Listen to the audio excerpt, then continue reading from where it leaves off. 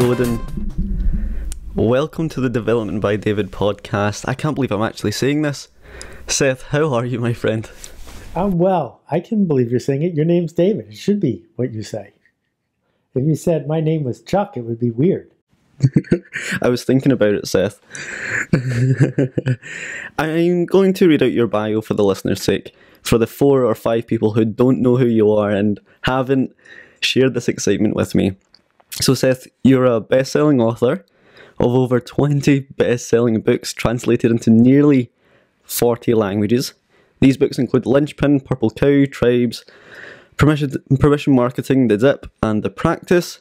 You've been inducted into the Marketing Hall of Fame. You have some of the most prolific TED Talks and lectures online, including How to Get Ideas to Spread and Stop Stealing Dreams, you're the creator of the altMBA, which I graduated from this January. What a life changing moment for me.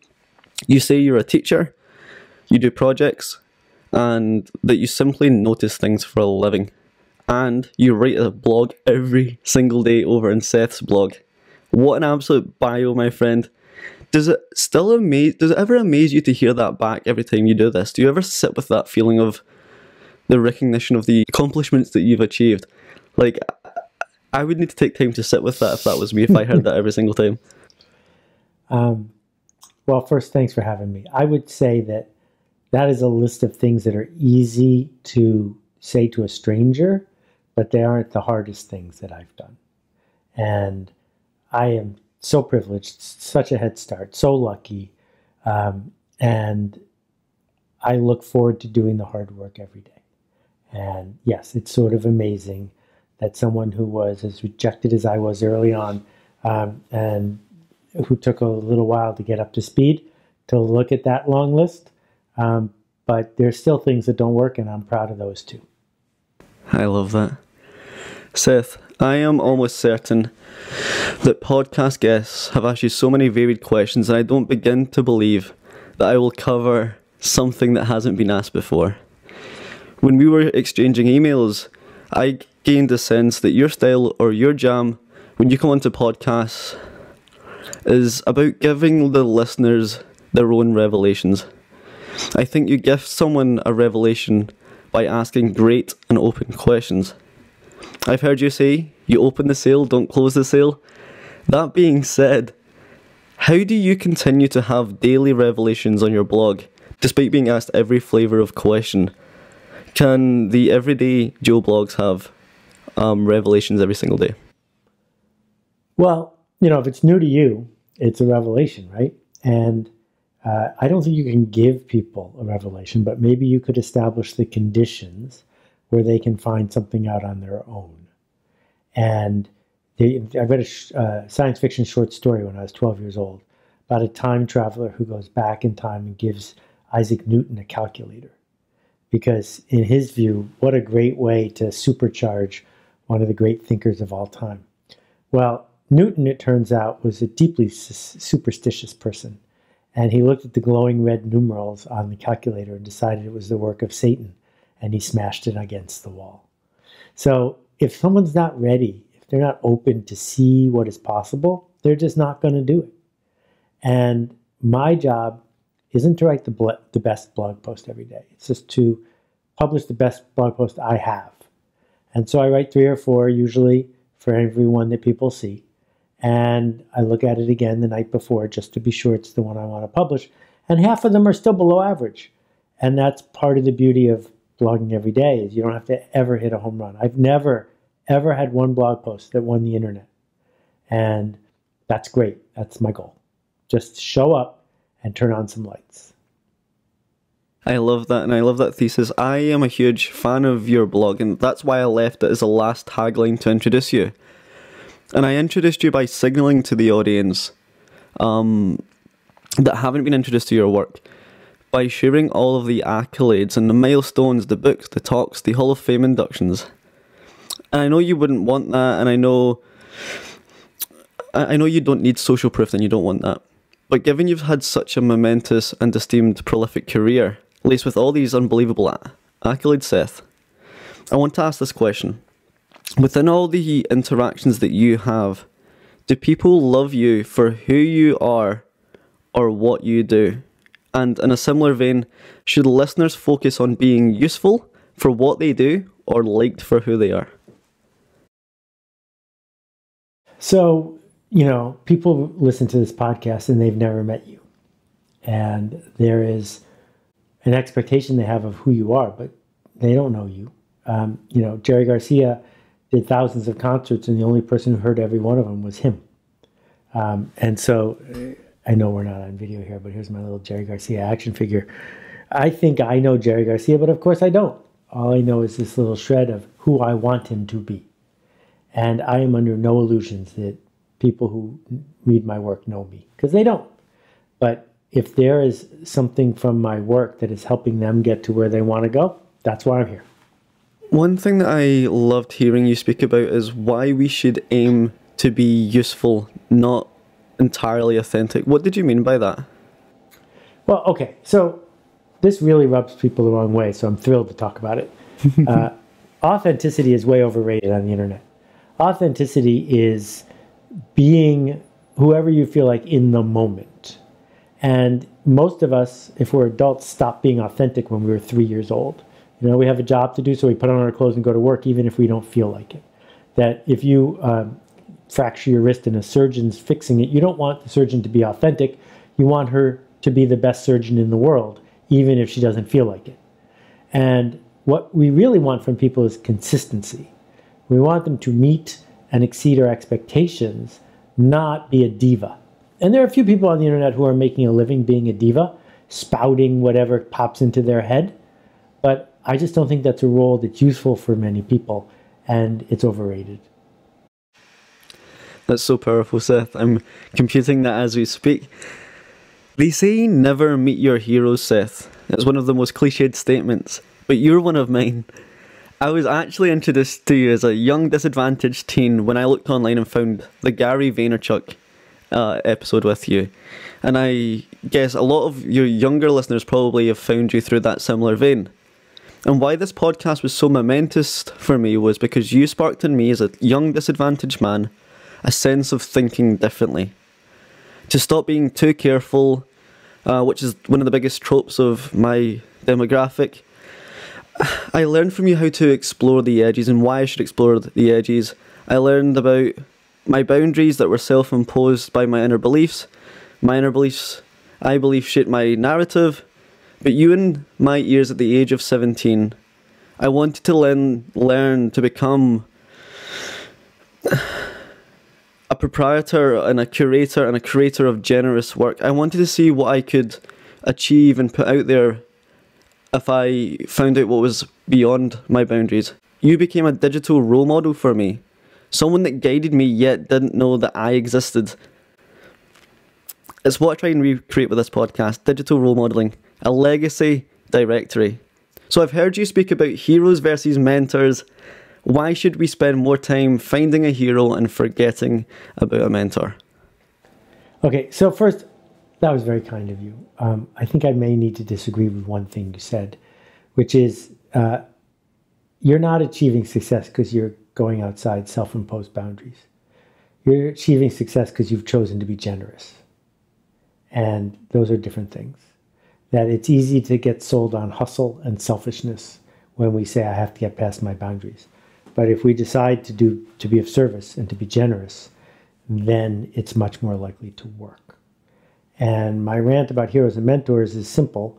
Mentoring doesn't scale, and it's sort of a myth that someone who ostensibly has more influence or power than you is going to stop what they're doing, truly understand you, and coach you forward whenever you need them. That's really unlikely, and it certainly doesn't scale. The alternative is to have it be that that person never knows that they're mentoring you because you're asking yourself, what would they do? And that idea of, I understand the representation this person has brought to the world. All right, if they were here, if the Mahatma was here, what would he tell me to do? And that scales because they can be with you whenever you need them. I would never have believed that I'd be sitting in front of one of my heroes, Seth. Can I ask you, who's been your heroes over time? Well, you know, I grew up really lucky with amazing parents. And along the way, I've gotten to meet and work with many of the people who I quote in my work. People like Zig, people like uh, Jay Levinson, people like uh, Steven Pressfield and Roz Zander and Ben Zander and Tim Wu and Cory Doctorow and um, Debbie Millman, uh, Sarah Jones. I could talk about all of those people. The thing that I want to remind people of is if you do what I did, you're not going to get what I got. And that's the way it works. I mean, we're talking about culture, and culture is really, really complicated. That's why it's not useful to know what I had for breakfast. Because you could eat what I ate for breakfast and it's not going to make any difference. I feel like generous work is almost shipping work into existence that already doesn't exist. And I mean, I, have been on today already, and if the listeners have not already unpicked this, I have a great sense of imposter syndrome sitting across from you, Seth. You, I've heard you speak about how imposter syndrome can be weaponized almost and is a great thing and can be a positive thing, whereas we see it as something that's paralyzing and something to be ashamed of. How can we weaponize our imposter syndrome, and why is it positive? Well, I'm not sure I want to use the word weaponize, but let me let me try to, to riff on this a little bit. Um, if you are doing something that you've never done before, if you are leading, if you are inventing, if you are making art, well, then of course you're an imposter because you have no proof, right? If you're working on the assembly line and putting the 19th widget into the 19th box, you're not an imposter. You're doing a cog work, and I get that. But if you feel like an imposter, that is your good psyche telling you that you might be onto something. And when it shows up, don't fight it. Don't pretend it's not there. Say thank you. Thanks for letting me know that I'm leaning forward into possibility. And so when, when imposter syndrome shows up, say thank you. And that almost kind of eliminates your last point where I shouldn't be having the same breath, uh, the same breakfast as Seth Godin or the same lunch as any of my other heroes. I should be creating my own recipe. I love it.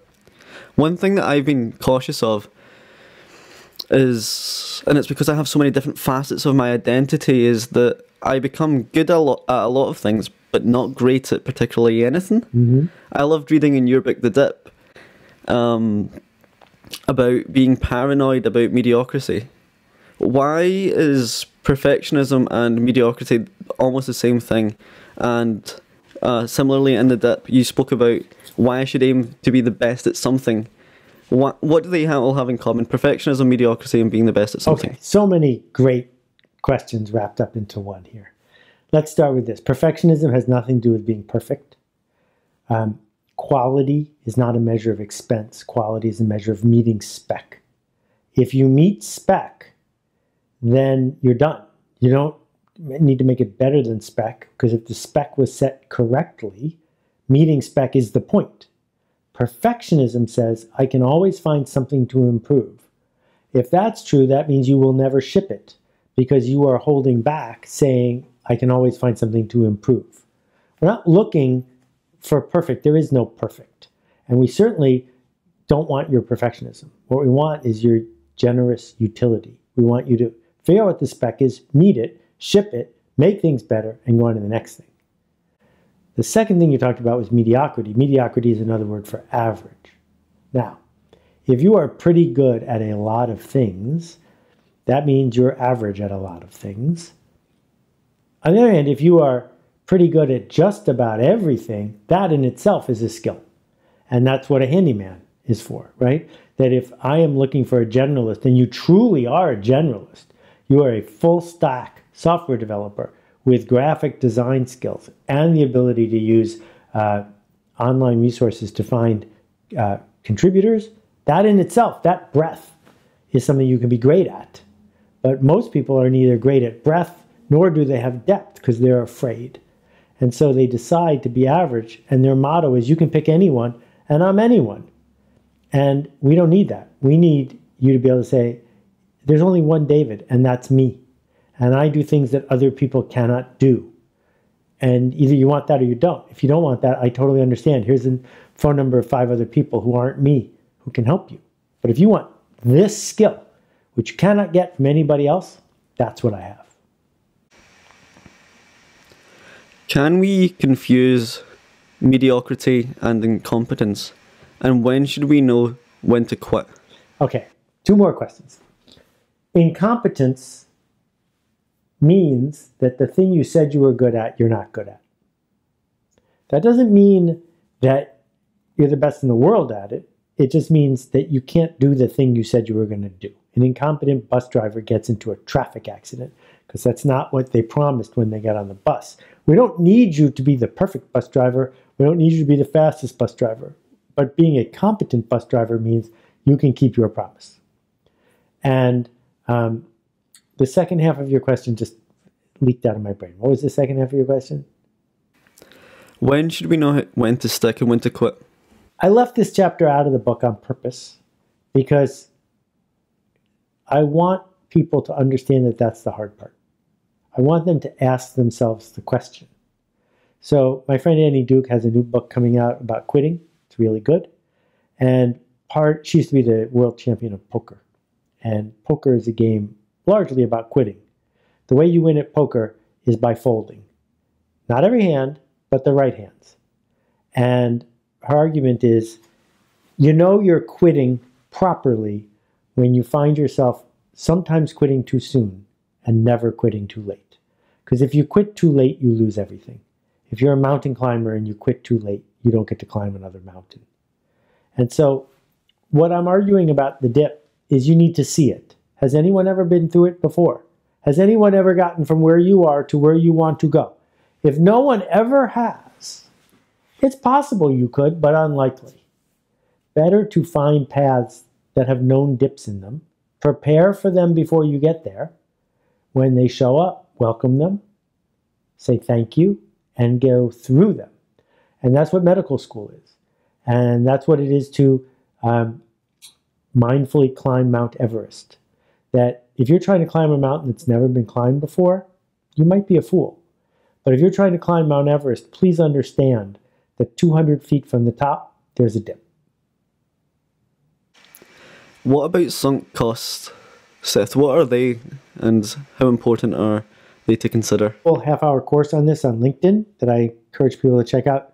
Sunk cost is a huge mistake that many people, including me, make, which is we say to ourselves, well, I invested a lot to get to this situation, right? So I better live with it. As opposed to saying, every day I get to make a new decision with new information. So here's a, a super simple example.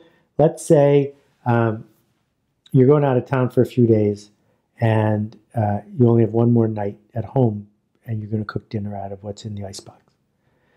In the icebox are two things some fish that was really expensive, that is sort of past its prime, and some spaghetti sauce, which you really feel like eating. Which should you have for dinner? Because whichever one you don't have, you have to throw out. And there are a lot of people who say, well, I better eat the fish because it was really expensive. That's silly. Right? Because you already bought the fish. Whether you eat it or not, you're still not getting the money back. So make a new decision based on new information, which is there are two items here. I got them both for free. I have spaghetti sauce for free or old fish for free. Which one do I want? And making decisions without regard for how much it costs us to get here is a rational way forward. Seth, I accredit my new way of decision making entirely to you and your alt MBA course. I learned that throughout my life, I've categorized processes with bad outcomes as bad decisions. Are they the same thing? This is another great Annie Duke riff. Um, if you see something that doesn't work, it's easy to blame the coach or the president or the prime minister who led to it for making a bad decision. They're completely unrelated. A decision is made with the data that's on hand in the moment. An outcome is something that happened across a range of odds. And if it led to a bad outcome, it might have been the right decision. And we shouldn't judge our future decisions based on one piece of data. Okay. I'm not sure I persuaded you with that one. So, um, friend of the family drove from one part of New York to another by going over a bridge. And while she was going over the bridge, there was a traffic accident and she was injured. And her response was, I'm not driving over bridges anymore. That's silly. The traffic accident didn't happen because she made a bad decision about bridge or no bridge. It happened for other reasons. Every time you get in a car, there is a chance you're going to get in a traffic accident. Don't use a vivid piece of data that was a bad outcome to change the way you evaluate the range of choices you have tomorrow. Because we know that 9,999 times you drive over a bridge, you don't get in an accident. So the fact that you got in an accident doesn't say anything about your decision making ability, bridge or no bridge. It says you got unlucky one day. And yet, we fire soccer football coaches for this. We turn over governments for this. Instead of saying outcomes go in a range. And just because there's one shiny outcome that really sucked or was really amazing doesn't mean the person made a good or bad decision. It's just another piece of data. Right? There's one thing that goes on with investors, which is that they tend to look at the past performance of a fund before they put new money into it. But their past performance isn't a reflection of whether they made good decisions in the past. It's a reflection whether they had good outcomes in the past. And we know there's not a lot of correlation between the two in that single instance. And so, what we need to do instead is develop the rigor to be able to look at what is open to us when we make a decision and not get clouded by outcomes. I'm bought and sold. Clear as day now, Seth. Thank you.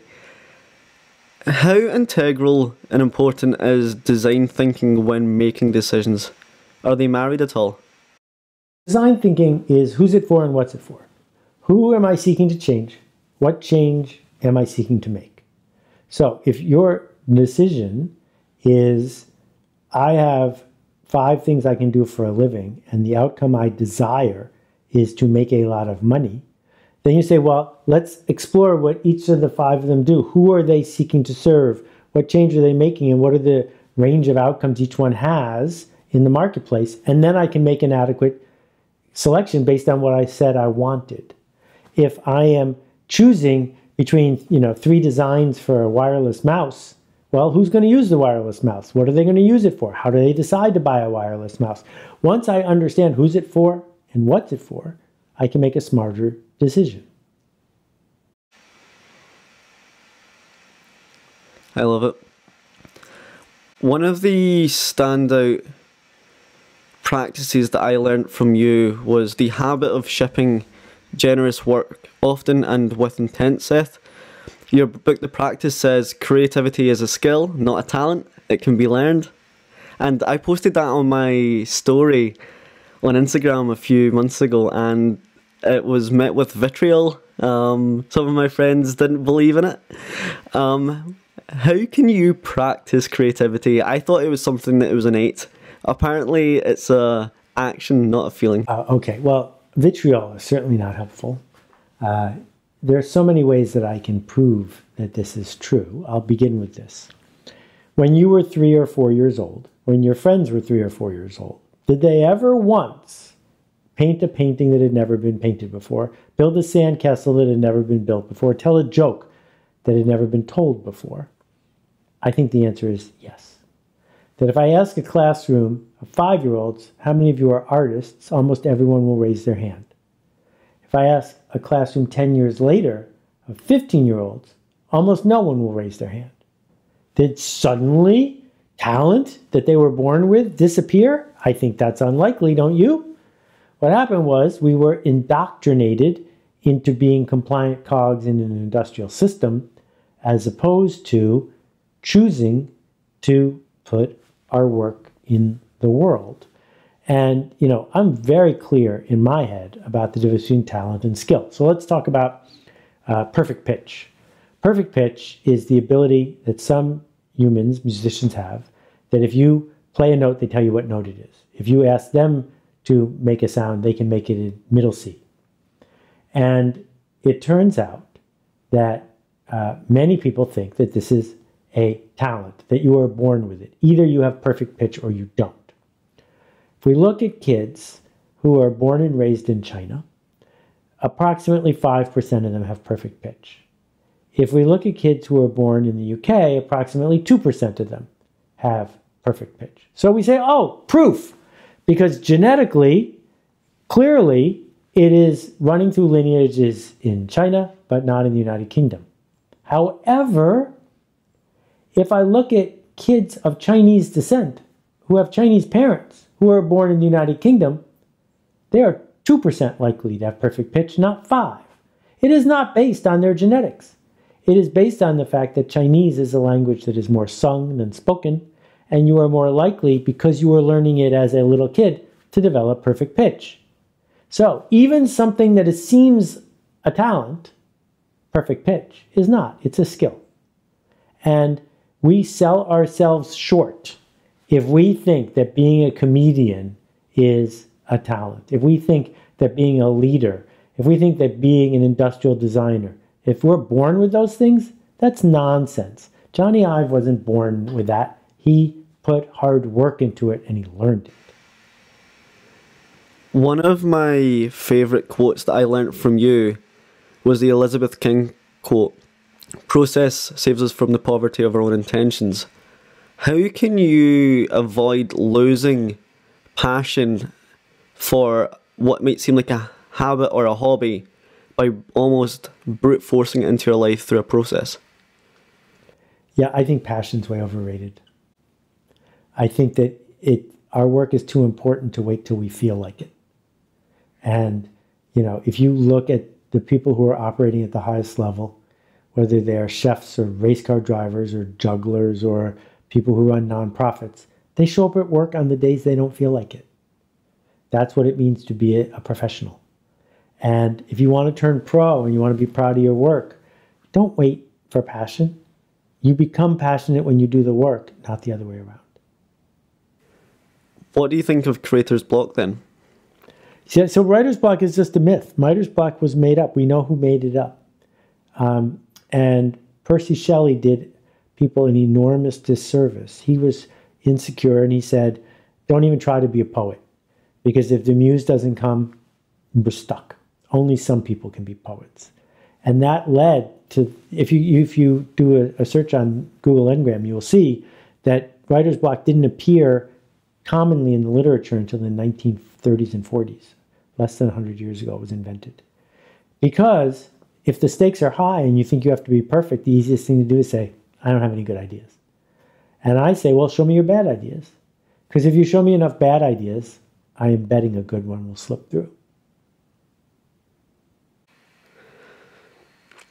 You have written hundreds of blogs every single day. That is your creative outlet. That's how you are generous to the world. And that's okay because you are Seth, and people from the outside in will think, well, that's fine because Seth is a writer. But they might think, I'm not a writer, I am not Seth. Why is my voice worthy for the world? Why should the Everyday Joe Bloggs, or why should I write? Well, first, just to speak for myself, the first year that I was writing my blog, I had 100 readers. And when I was in high school, my English teacher wrote in my yearbook that I was the bane of her existence and I was never going to amount to anything. Um, I have no degree in writing. In college, I took exactly one English class. I I just write like I talk, and I got better at talking. So th- that I that excuse is not really useful. But you should write a blog even if no one reads it. I would write my blog if no one read it, because writing my blog first and foremost clarifies my thinking, puts me on the hook what a gift for free to be able to, to keep a record of what you see, what you believe, what change you want to make. And if other people read it, that's great. Similarly, I have a process that I complete every single morning where I write down my thoughts, my actionable thoughts and my non actionable thoughts. And I have done that every single day for two or three years now. And I have an audit trail of every single idea I've ever had. And sometimes I lean on them, Seth. Sometimes I go back yeah. on them and use them again. Sure. And without having that process, I would never have been able to um, create creative endeavors that I've went on to do. Yeah. No, I mean that's brilliant, and I'm thrilled you're doing it. Thanks, Seth. What is wrong with post industrial revolution schooling? Why why did you create the altMBA and how does that rival what we've been taught in school? Okay, so I don't run it anymore. I'm super proud of what I built and the team that runs it now. Uh, it's a B Corp, and uh, I encourage people to check it out. But this all started when I did a rant called Stop Stealing Dreams about how school was broken. Because school is still training people to go to work in a factory. And uh, not far from where you're located, a guy named Josiah Wedgwood invented the modern factory uh, in the 1600s, and he was making pottery. And if you're making pottery on an assembly line, you need people who will follow your exact instructions. And Josiah Wedgwood made so much money doing that. He was the richest person in Europe. And his grandson used some of that money to finance his voyages. And that's why we have heard of Charles Darwin. That's unrelated to what I was talking about, though. The thing is, almost everything in the Wedgwood factory that matters is made by a robot now. We don't need people to do exactly what they are told. The people who are doing exactly what they are told aren't well respected, nor are they fairly compensated. We need people who decide what to do next, who solve interesting problems, who learn how to see the world as a question, not an answer. And we're not doing nearly enough to teach people to do that. One of my favorite areas that I hear you speak on is building the smallest viable audience. Surely you would like to build the biggest viable audience. Why why why, why should we focus our efforts on that? So the key word is viable, which is how many is enough. If you are going to open a hotel, the smallest viable audience is not five people. You'll go out of business. But if you open a hotel, you can't have a million guests. You have no room. You want exactly the right number of guests who are there for the right reason, who will talk about you, who will pay on time, who won't trash their room, who blah, blah, blah, blah, blah. Well, once you figure out what that number is, make it just for them and ignore everybody else. One of the problems with the internet is infinity. That we say, well, my Twitter is not good enough because not everyone on Twitter reads what I write. Well, if you try to get everyone on Twitter to read what you write, you will write nothing. So instead, be specific and say, I want to put this hook into the world and I'm on this hook. And if this doesn't work, it's my fault. But be very clear about what it is, as opposed to saying, as I said before, you can pick anyone and I'm anyone. That doesn't work. Oh, fantastic, Seth. I noticed that you have no comments on your blog. Even your smallest viable audience don't have an, a direct chance to interact with the work that you put out there. Was that deliberate? Well, those you just said two different things. The people who read my blog have a lot of chances to interact with what I put out there. They just can't do it in my front yard. That they can take everything I write and comment on it in lots of other places. They can turn it into their own writing. They can have all sorts of conversations. That's what the internet's actually for. I just realized early on when I did have comments on my blog that they were breaking my heart, they were confusing me, and they were causing me to make my writing worse because I was answering my critics before I even posted. Because I was saying, oh, someone will misunderstand this sentence, I better explain it better. And it just got averager and averager and averager. And so I had a choice. I could have a blog with no comments or I could have no blog. And I figured people would rather have a blog with no comments. A personal question for you, Seth. Given that you have had direct and indirect touch points with thousands of lives. How does that make you feel on a day to day basis? Do you wake up with a great sense of gratitude, or does sometimes does that feel overwhelming at all? I think I feel a responsibility. I feel like um, if no one knew who I was, I could probably act more, quote, authentically because no one knows who I am. But I have chosen this path of acting consistently because people trust me. And earning the benefit of the doubt is priceless, and I don't want to waste it. I've heard you say that you treat people's attention with kindness. When people have the wonderful opportunity to interact with you, most specifically on um, in person, when they might act overwhelmingly touchy feely or intrusive. How do you how, how do you deal with that? I'm trying not to do that almost virtually, Seth. How do you treat people's um, attention with kindness when they overstep the mark in real life? Well, I'm awfully lucky that I don't really have that problem. I think that people understand that I'm a person too. Um, what I meant by that expression is, you know, I'll get a note saying, I love your podcast. I love all of it. Can I be your next guest? And I'm like, which episodes have you listened to that had a guest? Because there are 250 episodes I've never had a guest. No, you're just spamming a list. You just stole from me. You stole my peace of mind. You stole my benefit of the doubt. You stole my time. That's not kindness. And what I'm trying to do is talk to people in a way I'd like to be talked to. And I think if we can all do that for each other, it makes things work a lot better. Seth, you have created a generation of ideas, and I mentioned your bio and your accolades and your achievements today. If you could go back to younger Seth and provide him with like a universal lesson as a mentor or a hero, what would you like to tell him? I think I would just remind myself that everything's going to be okay. If I gave myself advice that would have changed the path of my life, I would have had fewer failures. But the failures are part of the deal, and then I wouldn't be where I am right this minute. And uh, that's true for everybody. No matter what we deal with, if we define whatever happens as that's what happened, then we're right. And so instead of wishing for a different path, let's figure out how to make the path we're on something we can be more proud of. Can I ask, who do you do it for? Over 20 books.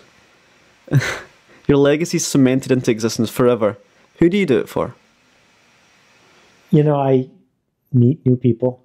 I see what people who've been following my work for a while do. I'm aware that leverage is precious, and that's what I'm doing it for. There's this microphone that you have and that I have, and let's not misuse it. So I am guilty of not working nearly hard enough for the people who have given me the benefit of the doubt, but I persist. And none of it's perfect, but we try to make it better. And you do this every single day. I need to ask the question how does Seth Godin rest? What do you do for fun, Seth? Come on. yeah, this is fun. I this it's all good. It's all fun. I'm gonna have to to wrap up, but it's been such a delight to talk to you, David. I really appreciate these questions, and I really appreciate the way that you are leaning into leadership. So thank you. Thank you for opening the sale for me, Seth. This has been a whirlwind of an episode, a real hallmark and anchor in my podcast history. I'll never forget it. I remember interacting with you virtually as a 17 year old, and I can't believe I'm having this conversation. Thank you, Seth. Thank you. Thank you. Keep making a ruckus. We'll see you.